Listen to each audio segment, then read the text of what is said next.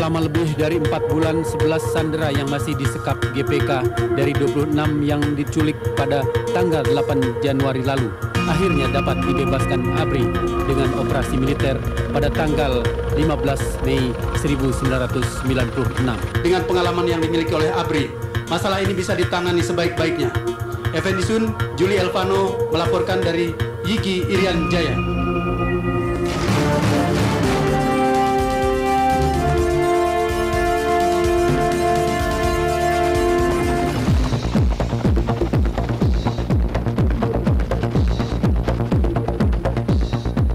Operasi Mapenduma itu adalah operasi penyelamatan sandera dari tim ekspedisi ilmiah Loren di Pegunungan Loren di Irian Jaya atau Papua pada tahun sekitar 1996. Jadi memang ada satu penelitian yang masuk ke daerah Papua yang mereka terdiri dari rombongan apa perguruan tinggi dari uh, Indonesia beserta perguruan dari para peneliti asing ke sana.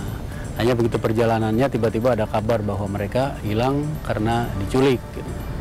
Tapi malam-malam ketika kita apa sedang akan membuat berita untuk dunia dalam berita malam di TVRI, uh, produser saya dengar itu, terus kita ngobrol, waduh di mana? Wah di Irian, wah gimana?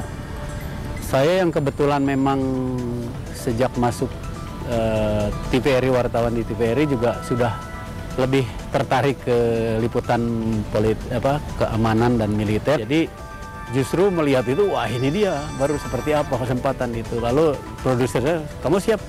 Saya sepanjang didukung fasilitasnya ke sana oke, okay, saya siap berangkat. Nah, persoalannya kan saya reporter siap berangkat. Oke, okay, oke. Okay. Produser lalu mencari kontak-kontaknya datang, tapi saya juga disuruh kontak ke berbagai pihak. Nah itu kan biasanya kalau penculikan begitu kan operasi khusus ya.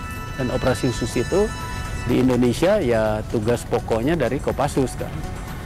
Malam itu juga saya segera kontak dengan kenalan karena kami memang sering sudah sering meliput Kopassus, pendakian ke Karten Piramid ke Irian saya bersama mereka ke Pegunungan Alpen. Jadi sudah sudah kenal banyak kenal dan saat itu komandannya Pak Prabowo kan, mantu Presiden Soeharto saat itu kan. Kesulitan yang paling besar ya waktu Papan Dumal adalah alam. E, komunikasi tidak ada dan kita tidak punya peta e, daerah itu. TNI waktu itu semangatnya tinggi, jadi modal kita semangat. Mungkin sekarang bisa disebut nekat. Wah, gimana orang pertama untuk membuka akses dulu ke sana. Saya telepon yang kenalan di apa di di Kopassus. Itu benar. Oh, betul. Ya sudah, komandan sudah pada ke sana. Yang tim komandan Pak Zamroni kalau nggak salah. Komandan nanti apa grup 5 dulu Kopassus anti teror itu juga sudah ke sana. Kita terbang ke Jayapura dan ternyata di dari Jayapura kegiatannya tidak di Jayapura. Di daerah yang terdekat ke lokasi yaitu di Mapenduma, Mapenduma ada pegunungan tengah ke atas lagi di ketinggian sekitar 3.000 sampai 4.000 meter. Wartawan pun bilang ini tuh operasi khusus. Seperti apa operasi khusus belum tahu, tapi labrak aja kita harus ketemu dengan siapa. Akhirnya kita jalan setelah makan pulang, rupanya nih rombongan wartawan ini poskonya tuh di Kodim Wamena tanpa ngomong apa mobil dimasukin ke tempat kodim omenanya begitu kita turun ya di situ aparat di situ kan tugas siapa ini kalian? Wah siapa? Wah dengan dengan pada gagal gitu. Wah kami wartawan polkam gitu. Ini kamu mau wartawan pol kamu mana? katanya. Kamu harus ada tata aturannya itu data. Nggak ada. Suasana itu memang namanya juga operasi apa operasi pembebasan itu memang harus dalam kondisi yang rahasia gitu. Sementara kita tidak sabar kan datang jalan ramai dan di situ masih terjadi nggak bisa masuk komunikasi. Tetapi menjelang malam ada satu orang datang. Saya cari Pak Effendi. Oh iya saya, oh saya lihat ini irian dari Serui tinggi gitu datang wah tadi yang ada di sana gitu dia bang kita jalan ke sana gitu nggak lihat Sementara teman-teman yang rada di belakang melihat melihat saya disangkanya bukan siapa-siapa. Ya udah, ayo jalan ya, jalan. Saya pun tidak bisa saya bawa kameramen saya, saya sendiri. Akhirnya datang. Pergi aja keluar. Ya, ya disuruh komandan katanya. Oh, saya masuk ke uh, ke ke studio terus tunggu depan. Nah, berapa berapa lama ya datang itu, datang komandan anti terornya, komandan grup 5 Kopassusnya yang memang sudah kenal, yang lain-lainnya termasuk Pak Prabowo-nya kan yang mimpin sama pimpinan-pimpinan di di apa di apa uh, aparat keamanan untuk operasi semacam begitulah. Saya justru balik tanya, kamu masuk ke sana dari mana gitu? Tapi yang kamu laporin kemarin malam itu visualnya di mana? Oh saya baru sadar kalau ketika sehari sebelumnya saya dengar ada penculikan itu, saya tahu Medan Irian, dan saya pernah ke puncak Karten Piramid kan? Saya punya visual tentang Irian terus saya bikin beritanya saya keluarin tentang kondisi mereka. Tapi visualnya visual eh, daerah Freeport daerah Tembagapura gitu. Terus dari apa dari Freeport teman saya yang di Humas itu oh ini nggak ada kaitannya gitu ke Freeport loh ya nggak apa-apa ini namanya visual. Iya tapi bukan daerahnya bukan bukan itu.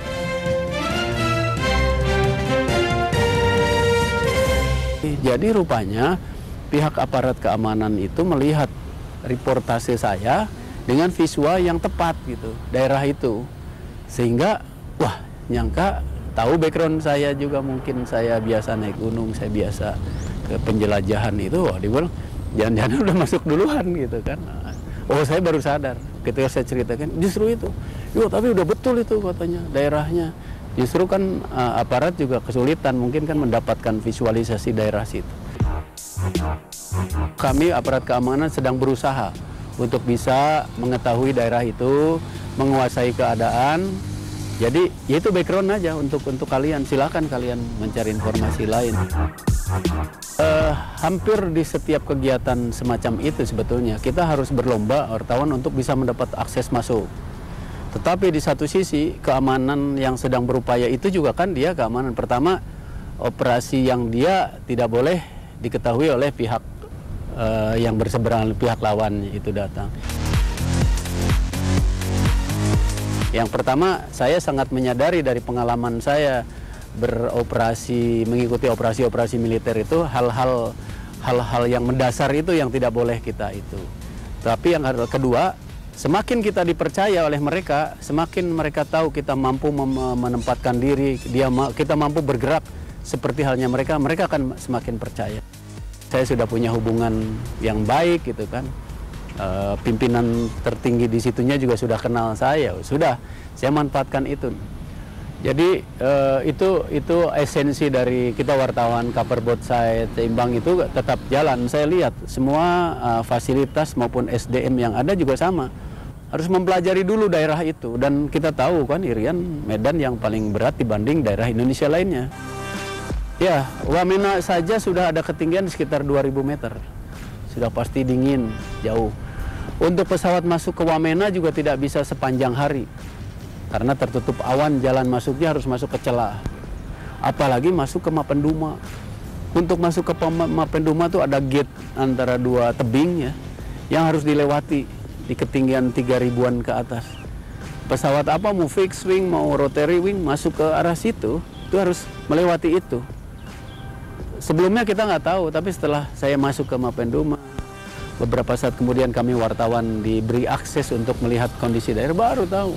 Habis itu jurang-jurangnya tinggi, tempat-tempat desa-desa di Irian itu kan kita kita tahu alamnya luar biasa. Keseluruhan operasi Mapenduma dari mulai kejadian sampai kemudian dilepaskan itu empat bulan.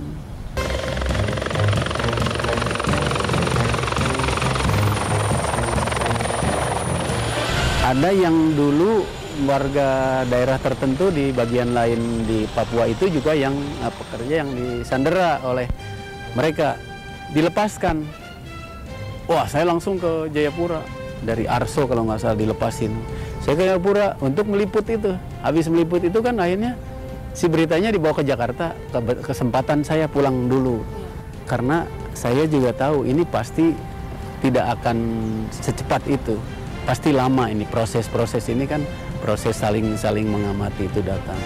Tapi saya sudah punya akses untuk bisa masuk dengan aparat ya keamanan kesinambungan untuk kita jaga berita terus itu memang jadi bagian yang harus kita atasi gitu. Nah kan dari situ kita bisa memperkenalkan, mensosialisasikan masyarakat Papua di sana. Jadi saya juga menjalin hubungan baik dengan Pak Bupatinya di sana. Sekaligus kita Pak, kalau selain kita kita kan ingin tidak berdampak negatif, kita memberikan hal yang positif. Kita kita kita angkat tentang kegiatan-kegiatan bahwa warga Papua itu punya hal-hal yang positif yang itu datang. Jadi itu yang keseimbangan yang kita buat. Kita buat bagaimana mereka membuat batik di atas, bagaimana mereka memproduksi apa e, beca gitu, hal-hal yang begitu. Ya, kerajinan tangan dan sebagainya. Pokoknya kehidupan-kehidupan bagaimana mereka juga mengelola sawah kan di sana waktu itu. Ingat betul pimpinan masuk ke Mapendumanya yang ketinggian itu Pak Kapten Made Agra waktu itu. Dia masuk dan dia berlebur dengan penduduk masyarakat di sana. Dalam sekian lama akhirnya masyarakat itu sudah sudah sudah menyatu sama mereka. Mereka juga dilatih, diajarin hal-hal yang positif gitu. Nah saat itulah saya bisa melihat ke sana, saya bisa mengabadikan seperti yang visual-visual didapat. Bagaimana mereka itu di kampung itu untuk membuat pasar itu datang menjual sesuatu dari berbagai gunung itu datang subuh-subuh baru pada siang hari mereka bisa bisa masuk. Nah itu hal-hal yang mendekatkan kita ke mereka. Operasi militer langsung sukses. Para sandera bisa dibebaskan, kendati pihak penyandera tak berhasil ditangkap aparat.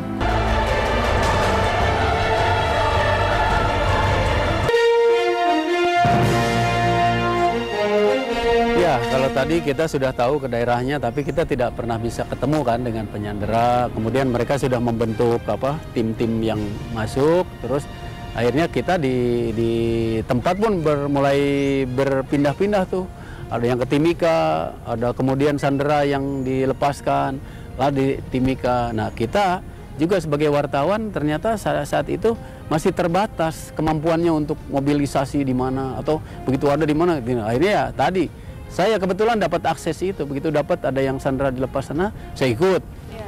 Dapat ke Timika, bisa bisa ketemu ngobrol dan sebagainya. Ya teman-teman yang lain tertinggal. Kalau kita belajar penjelajahan dan sebagainya, dipelajari bahwa dengan penduduk setempat kita juga harus berhati-hati, tetapi kita harus bisa menyatu dengan mereka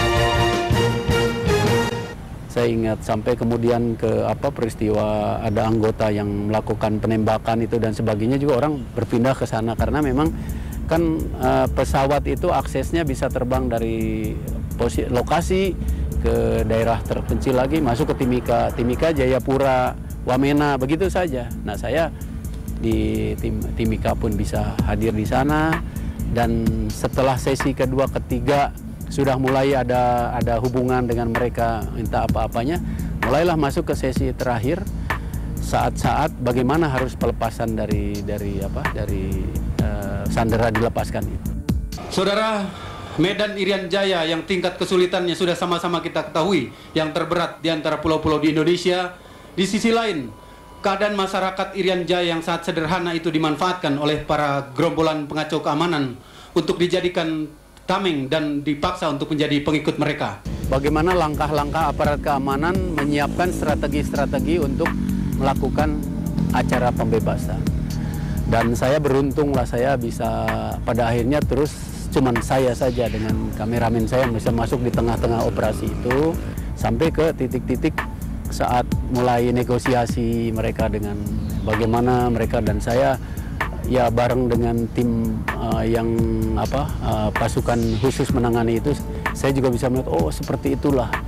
Mereka begitu serius mengeluarkan kemampuannya untuk menganalisa bagaimana pihak penyandera ini. Cuman kan kalau kita laporin saat itu kan ngebuka itu tapi kita ngelihat bagaimana. Kita tuh memiliki aparat-aparat keamanan yang memang harus profesional untuk menganalisa bagaimana supaya mengetahui betul titik mereka di mana. Mereka mengembangkan kemampuan uh, dari unsur-unsur bangsa kita itu. Di satu desa tertentu sudah diputuskan harus ya udah akan dilakukan penyergapannya hari itu. Dan itu betul-betul dikumpulkan oleh pimpinan langsungnya Pak Prabowo waktu itu. Ya saya eh, tuntutannya itu lebih banyak ke politis kan sebetulnya itu datang. Tetapi ketika mungkin yang terjadinya menyandera sipil, apalagi terus ada asing, wah itu sudah menyangkut yang pasti semua orang tidak tidak setuju kan hal itu gitu. Ya syukurlah bahwa antara diplomasi bagaimana perundingan lebih dengan apa dengan operasi itu berjalan terus sehingga pada satu ketika sampailah di lingkungan itu untuk memutuskan uh, perlu adanya pembebasan. Tapi kan sudah desanya udah pindah lagi dari Mapenduma ke GC Lama sampai pada titik tertentu pergerakan apa uh, aparat keamanan juga makin full. Saya tetap ada di tengah-tengah yang mungkin orang lain juga nggak tahu termasuk aparat keamanan itu juga saya di di dalam. Tapi pergerakan saya yaitu yang sudah tidak bisa diikuti oleh yang lain satu helikopter komando di atas, satu satu helikopter uh, bantuan. Kita kita masuk ke enam sasaran. Nah, pada saat itulah uh, Sandra dibawa oleh DPK ya oleh OPM masuk hutan. Nah, pada saat itu akhirnya beralih kepada operasi pengejaran. Kalau saya melihat, ya dia memperlihatkan dirinya sebagai seorang pasukan khusus. Kalau orang mengait-ngaitan yang lain ya wajar aja. Berpenampilan seperti itu dan mampu menggerakkan itu dan dipatuhi oleh pasukannya, bebannya menurut saya luar biasa waktu itu. Karena menyangkut internasional, menyangkut itu, keputusan sekecil apa pun punya resiko kan. Tapi akhirnya di satu pagi itu, oke, okay, kita sudah tidak ini kita akan memutuskan melakukan penyergapan itu. Pasukannya sudah siap dengan perlengkapan satu uh, penanggulangan teror uh, bukan khusus dengan heli-heli khusus dengan teknik pendaratan yang khusus. Nah, di satu sisi saya ngeri juga kan satu sisi uh, bangga lihat wah ternyata Indonesia tuh punya kemampuan untuk itu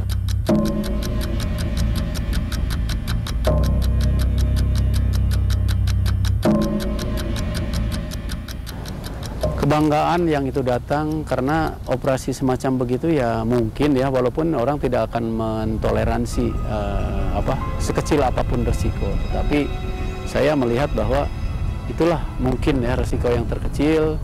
Ketika mereka bisa terselamatkan kan ada yang hamil juga dari dari bulenya itu ya. Terus yang lainnya ya bisa dikembalikan kepada keluarganya walaupun meninggalkan juga duka ketika salah satu peneliti dari kita itu yang dianggap punya mental kepahlawanan tinggi juga menjadi korban. Tetapi akhirnya kan itu menjadi pelajaran bersama kan? Pelajaran terhadap pihak-pihak juga yang menggunakan kekerasan untuk hal yang begitu. Tapi pelajaran juga yang mungkin kita sama-sama harus lebih memperhatikan saudara-saudara kita di mana pun dia berada kan? Nah buat kita yang wartawan saya melihat itu satu kejadian yang mungkin tidak pernah apa terjadi sebelumnya. Ya, saya berbangga karena begitu udah turun selamat semuanya datang. Saya punya gambar lengkap. Gitu sampai di Jakarta. Di Halim itu. Tidak ada yang boleh masuk wartawan itu. Begitu saya di pintu saya mau bawa hasil liputan terakhir itu keluar saya nyelip nyelip itu wartawan sedunia di, di pintu masuk Halim itu ngejajar nungguin statement dari itu datang. Saya orang orang yang dari dalamnya ya ada rasa bangga saya lari ke TVRI kita siarin dan saya satu-satunya yang dapat wawancara dengan Pak Prabowo yang pakai bahasa Inggris. Tapi ada dua wartawan asing yang ikuti. Begitu datang dia minta saya lapor ke komandan di Pak Prabowo lapor ke komandan kita. Ini ada yang minta ya udah silakan minta berita itu tersebarlah. TNI uh, eh, siap berkorban untuk menegakkan kedaulatan kita harus menyelamatkan semua warga negara Indonesia dan semua warga negara asing yang menjadi tamu bangsa Indonesia harus kita jamin keselamatannya.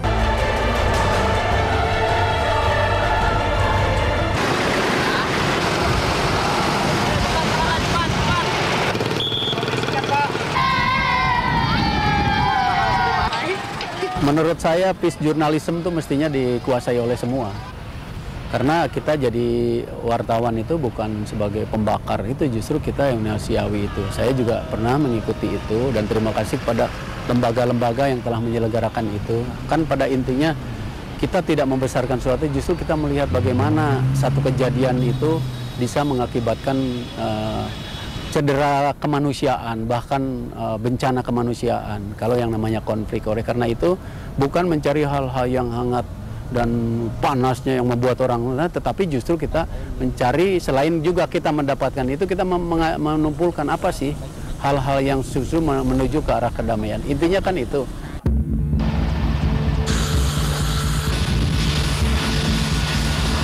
Sosok bangsa Khmer memang hampir sama dengan bangsa Indonesia.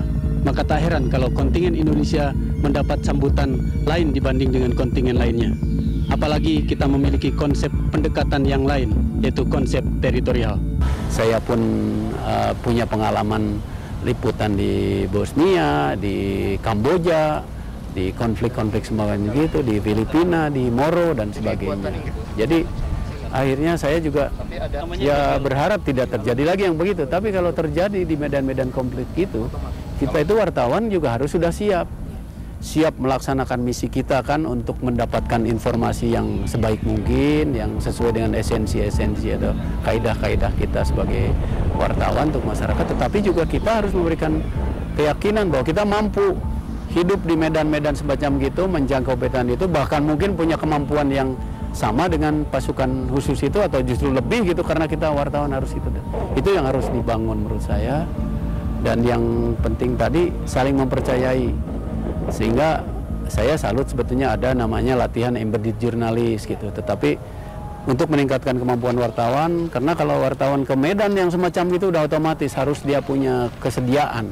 Kesediaan itu kalau dia mampu punya kemampuan itu dari segi peralatan maupun fisik